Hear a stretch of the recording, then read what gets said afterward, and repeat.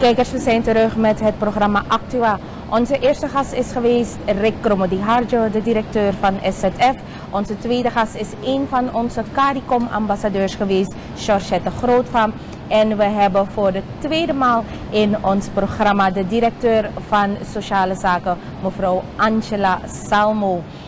U weet dat sociale zaken nu een, uh, een drukke ik, ik wil niet zeggen moeilijke taak, dat is het niet, maar ze hebben het nu vrij druk met het uitwerken van bepaalde zaken.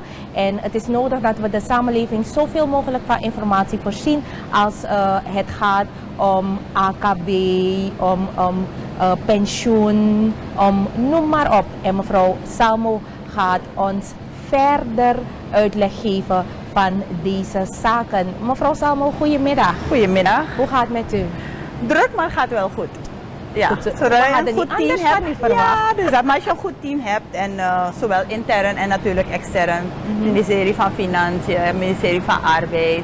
Dus dat zijn onder andere enkele ministeries waar we met man en macht werken om dan um, de steunmaatregelen, die zijn afgekondigd door de minister van Financiën, dat wij dat goed uitwerken en de samenleving um, op tijd uh, uh, kunnen voorzien in waarin zij dus recht op maken. maken.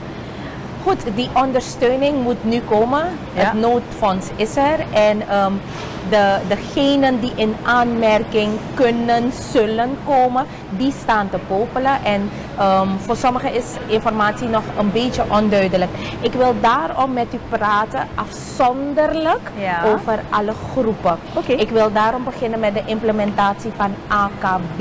Ja. Kunt u ons uitgebreid uitleggen wat er gaat gebeuren met AKB? Oké, voordat ik antwoord geef op het stukje AKB, moet ik wel een verschil uitleggen tussen AKB en KB. Algemene kinderbijslag, daar staan de mensen geregistreerd bij het ministerie van Sociale Zaken en Volkshuisvesting. En KB, dat is kinderbijslag die ambtenaren genieten.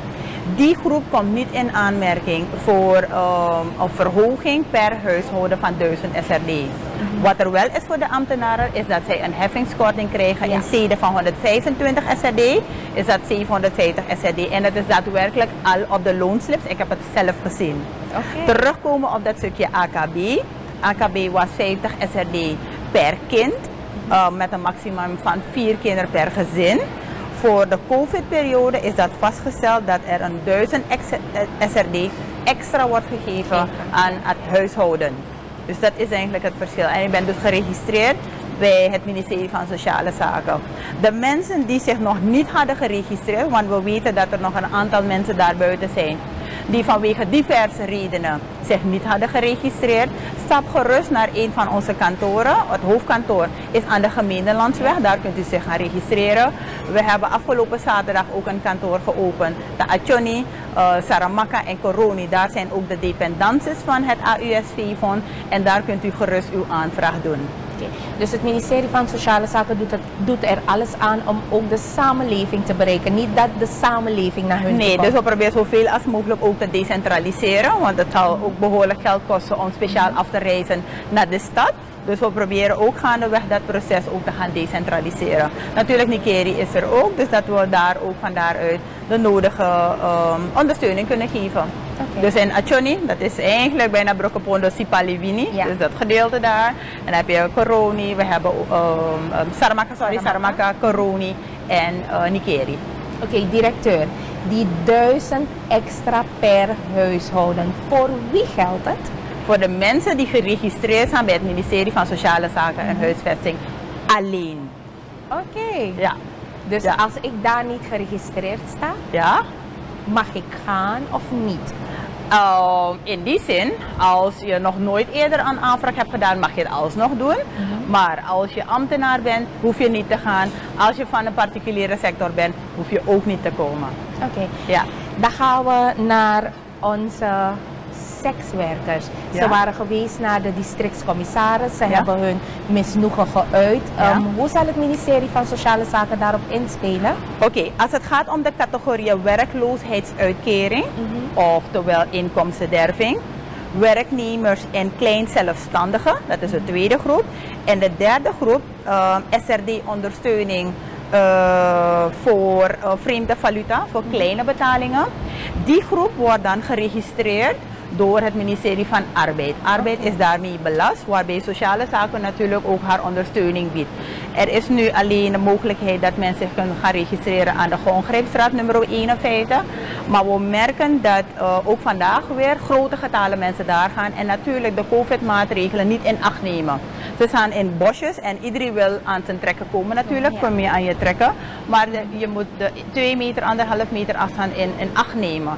En we merken dat dat niet uh, in acht wordt genomen. Dus we zijn bezig dat traject ook in te zetten om de wijkkantoren uh, van sociale zaken ook een beroep op hun te doen. Het is al eigenlijk al doorgegeven, maar zodra het formulier af is, om hun ook te vragen om die registratie te doen. Dus dan gaan zij de registratie doen. De formulieren worden dan afgegeven aan uh, arbeid en arbeid gaat dan verwerken. En arbeid gaat samen met financiën screenen wie allemaal in aanmerking komt voor de drie eerder genoemde voorzieningen. Als ik kijk terugkomend op de vraag de sekswerkers, dan vallen zij onder inkomstenderving. De mensen zijn geregistreerd, ze zijn al in beeld gebracht door de DC. Ze hebben de nodige ondersteuning in het voedselpakket al gehad ondertussen. En natuurlijk, die lijst is er en die lijst kan natuurlijk worden afgestaan aan uh, arbeid en financiën. En dat we dan met z'n allen ernaar kijken om ook die doelgroep te helpen. Te helpen, oké. Okay. Dan gaan we naar de implementatie voor de mens met een beperking. Yes. Mensen met een beperking, zoals we weten, is dat altijd 325 geweest.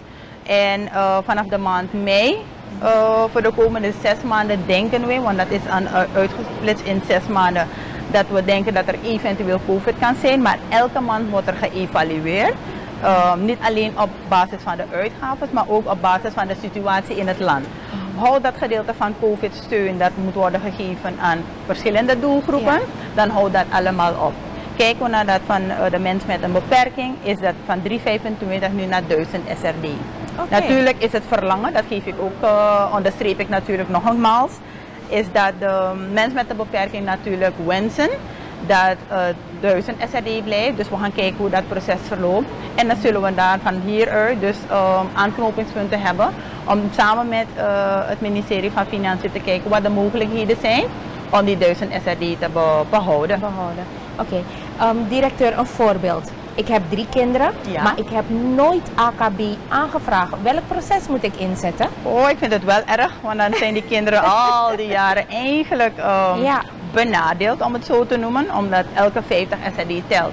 En als u zegt drie kinderen, dat wil zeggen 150 SRD in de maand. Wat u sowieso moet doen, u moet gaan naar het, uh, het kantoor, AUSV-kantoor. Dat is op het uh, erf van AOV aan de gemeentelandsweg. Okay. Medenemend natuurlijk uh, uw ID-kaart.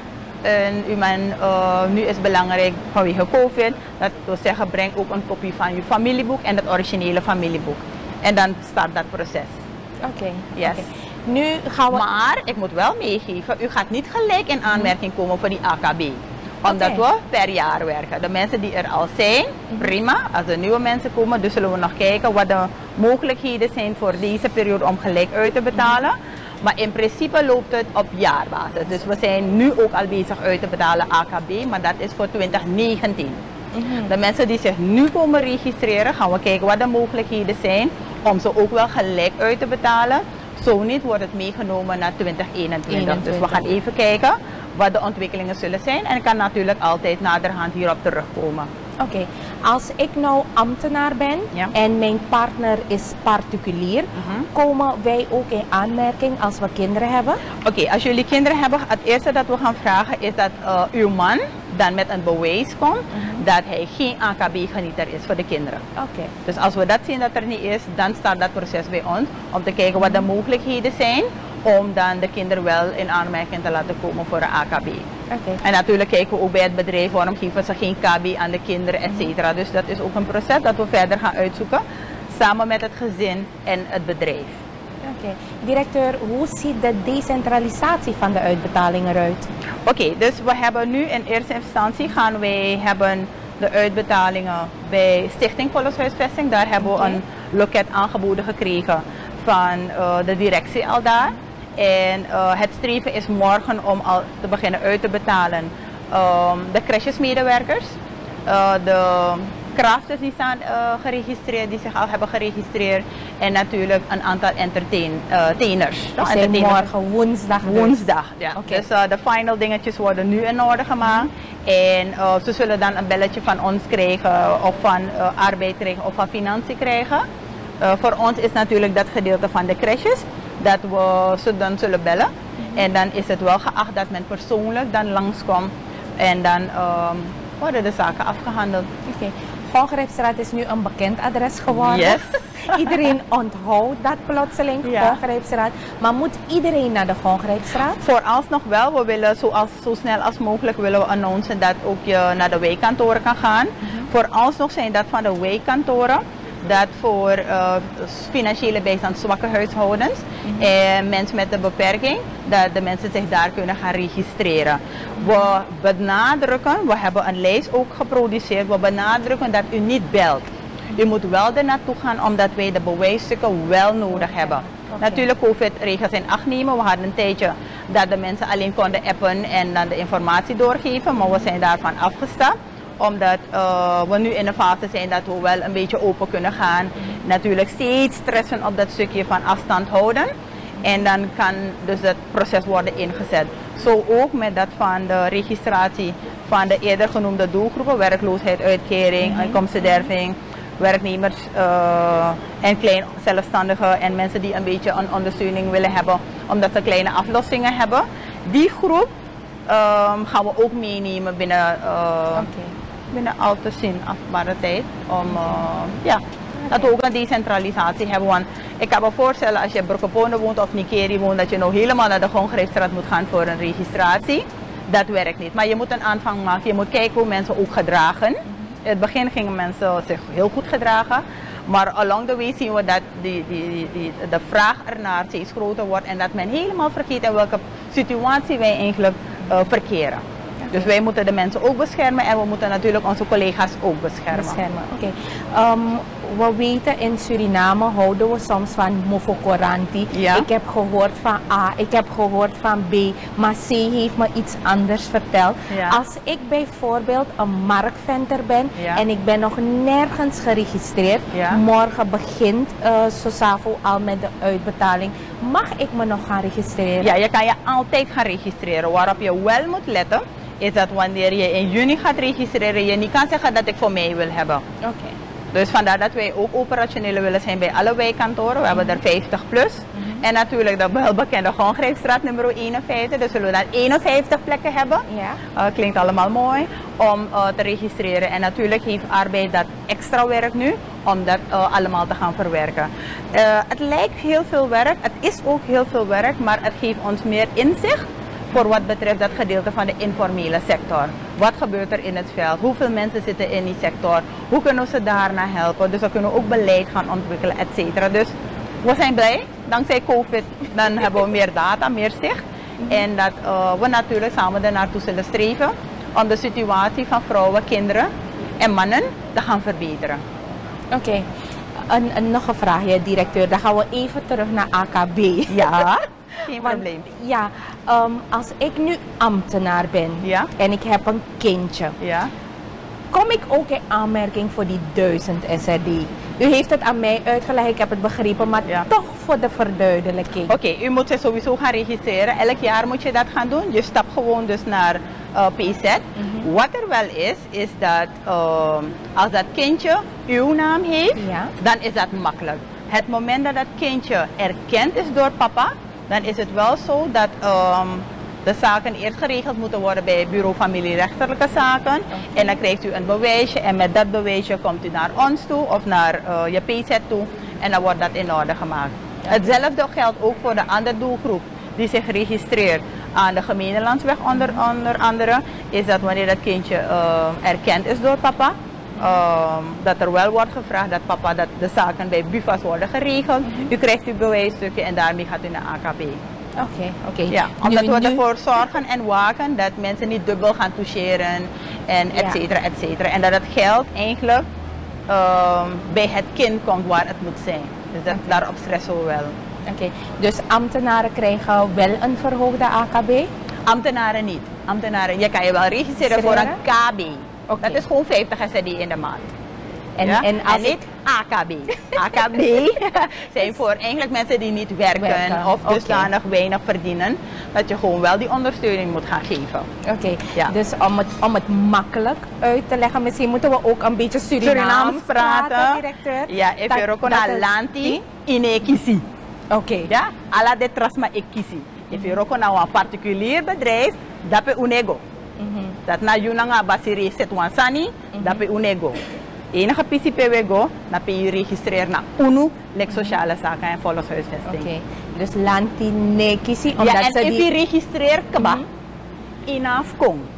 Oké, Ook dus maar voel ik AOV, inaf kon registreren, omdat je registreert kaba. Maar if no je komt rond 60 jaar, drie maanden, drie maanden, voor je door 60 jaar, go naar een kantoor voor AOV, go registreren, schrijf je. Zodat je kan kiezen AOV op tijd.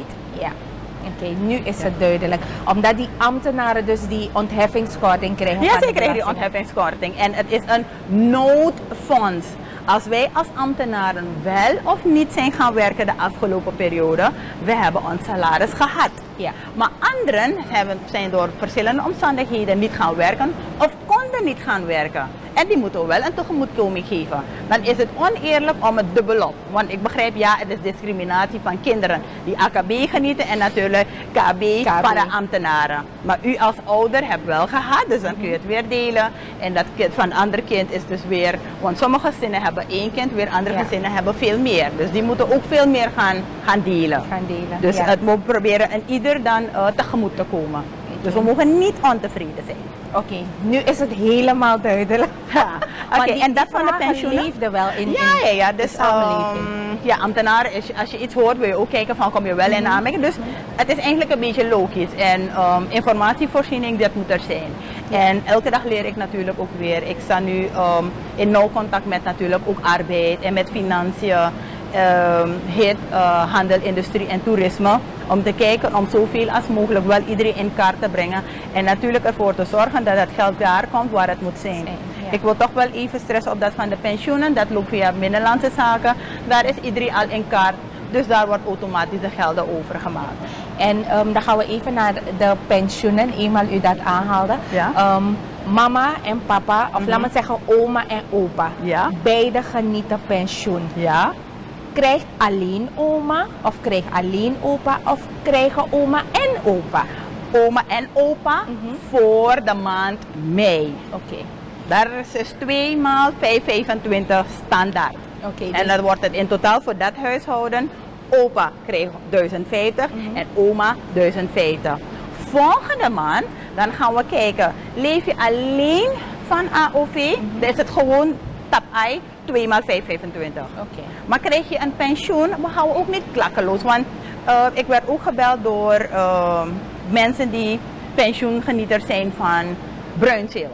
Suriname Houtmaatschappij. Ja. En dan kijk je naar de pensioenen en zij verdienen tussen de 100 SRD zoveel om 400 zoveel. Dat is ook weer te weinig. Dus die groep gaat wel krijgen. Dus er gaat natuurlijk zullen we de samenleving in de loop van de volgende maand informeren.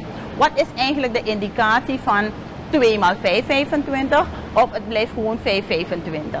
Ja. En als je natuurlijk pensioengenieter bent, dan gaat dat gedeelte van pensioen wel door, die 500. Zolang COVID er is. Oké, Zolang. Zolang, ik stress elke keer erop, zolang COVID er is, zijn deze bedragen en deze voorzieningen er. We gaan natuurlijk ook kijken, financiën kijkt ook natuurlijk met een vergrootglas van wat kunnen we behouden op den duur en wat niet. Oké. Ja, maar bent u niet erop van, oké, vanaf nu daarna, na 1000 SRD ja, per huishouden voor AKB. Uh -uh.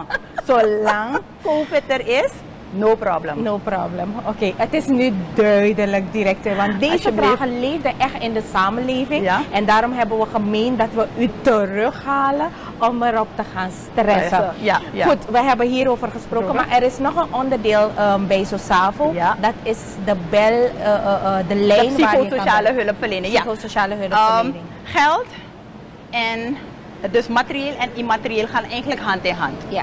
Als je geen geld hebt, dan verhoogt die stress, frustratie. Ja. En dan gaan er allerlei dingen, uitspattingen plaatsvinden. Je gaat willen slaan, je gaat willen ageren, gaan allerlei dingen gebeuren. Dus wat wij hebben, de regering heeft gezorgd ervoor dat er een steunpakket is. Natuurlijk van ons uit van het ministerie van Sociale Zaken zijn we gaan werken aan het stukje begeleiding geven. Um, hoe ga je om met stress? Hoe ga je om met frustratie? Um, oh, de kinderen zijn nu thuis en weet hoe kinderen zijn? Ze zijn speelden, long long long, brokosani, wallo soort sang. Dat je daar in abba money. Ja. Dat je stress, dat je want nakaching. En je kan nu dus gewoon bellen naar 123 om erover te praten. En indien nodig kunnen we het begeleidingstraject ook inzetten. En dat wordt gedaan door een korps van maatschappelijk werkers. Die Ja. gaan dan aan de slag. En de afgelopen periode hebben we gemerkt dat er een stijging is naar behoefte. Uh, eerst was het behoefte naar uh, mijn geld, hoe kom ik aan meer geld en ik heb geen geld. En uh, ja, ik moet de huisbaas betalen, maar hoe moet ik doen? Ik heb een aflossing van mijn auto, hoe moet ik allemaal doen? We merken dat dat gedeelte sinds gisteren een beetje aan het afnemen, Afnemen is. Het is, zal er nog af en toe natuurlijk zijn. Maar nu gaan we dan zitten op dat stukje immaterieel, dat stukje gevoel. Ja. Hoe ga je om met de situatie en alles eromheen? Zijn er Ja. genoeg mensen om, om de, de bellers en eh, de mensen in nood te, te helpen? Ja, dus er zijn de mensen gewoon in Paramaribo natuurlijk. Zijn er ook mensen bij de wijkkantoren die getraind zijn geworden de afgelopen twee jaar. Dus zij zijn onze watchdogs om te zeggen van kijk, ik zie iets dat verkeerd gaat. Ze weten welke stappen ze als eerste, want er zijn de emergencies. Dus dan zij weten de eerste hulp te bieden aan situaties die zich voordoen dat niet ehm, in de haak zit. En dan, eh, als ze merken van nee, er is meer nodig dan dat wij aan het bieden zijn, weten ze de weg wel te vinden naar de stad om die hulp te krijgen. Oké. Dit is er ongeveer al drie weken. Wat zijn de meest voorkomende, ik wil niet zeggen problemen, de meest voorkomende noden die tot nu toe zijn doorgegeven? De no- grootste noden wat men heeft is eh, eigenlijk niet goed weten om te gaan met frustratie. Maar ik wil ook verwijzen naar morgen, waarbij dus er een opname zal zijn bij Macandra. En daar zal dus de KJT dat proces ook gaan uitleggen van hoe dat allemaal heeft plaatsgevonden en wat soort, soort vragen. Want terwijl eh, iemand ook inbelt, ben je ook bezig de persoon te counselen. En ehm, wij hebben dus een, een, een strategie. Als je al belt, ben je willing om te gaan veranderen. Dan Ja. wil je dus een oplossing hebben. En veelal wat we merken, dat wanneer we tot de mensen praten, het zij via bel, via mail, via FB, dat zij al zelf komen met de oplossing. Oké. Ja, toch? omdat je al uitpraat en je begint dan te ordenen met de persoon, wat is er allemaal aan de hand. En hetzelfde gebeurt natuurlijk ook als je naar de maatschappelijk werkers gaat. En dan houdt het niet op. Indien men eh, zegt van luister, nou dit is mijn grens. En ehm, er is bijvoorbeeld sprake van eh, iemand is erg suicidaal. Dan hebben we natuurlijk onze partners, dat zijn de psychologen en de orthopedagogen, die ons ook daarbij ondersteunen.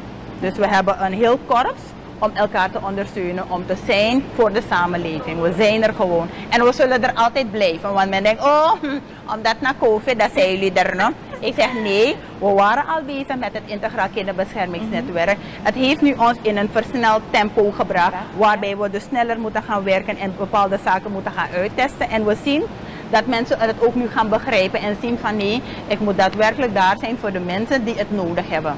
Want als je niet belt voor hulp, dat wil zeggen dat, er geen, eh, dat je niet hoeft te helpen. Maar als er wordt gebeld, moet je die hulp wel kunnen bieden.